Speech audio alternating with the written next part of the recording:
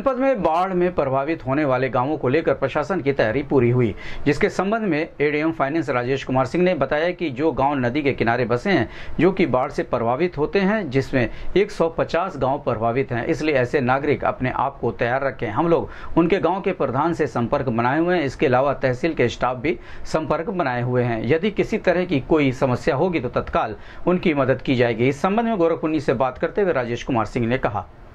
नदी के किनारे बसे हैं। उनको हम लोग टेक्निकल टर्म में एलएफएल और एचएफएल कहते हैं। लो फ्लड लेवल वाले गाँव और हाई फ्लड लेवल वाले गाँव। अर्थात प्रारंभ में कौन कौन से गाँव ऐसे हैं जो प्रभावित होते हैं और जब हाई फ्लड लेवल होता है तो कौन से गाँव प्रभावित होते हैं? तो मेरा अनुरोध है एलएफएल के हमारे यहाँ लगभग डेढ़ सौ गाँव के आसपास जो लो फ्लड लेवल में हैं नेचुरली जब एचएफएल होगा तो एलएफएल बहुत ज़्यादा प्रभावित होगा।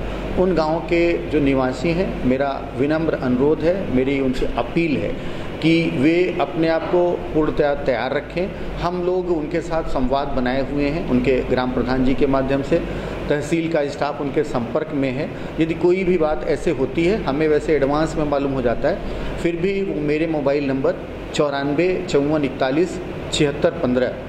चौरानवे चौवन इकतालीस छिहत्तर पंद्रह। राजेश कुमार सिंह एडीएम फाइनेंस गोरखपुर को कोई भी सूचना दे सकते हैं। सर कुछ गाँव भी हाँ ऐसे गाँव जहाँ पर नदी का पानी चारों तरफ़ से गाँव में गाँव को घेर लेता है उन्हीं को हम लोग मैरून गाँव डिक्लेयर करते हैं और वहाँ पे राशन सामग्री आदि का वितरण कराते हैं पर्याप्त वितरण कराते हैं।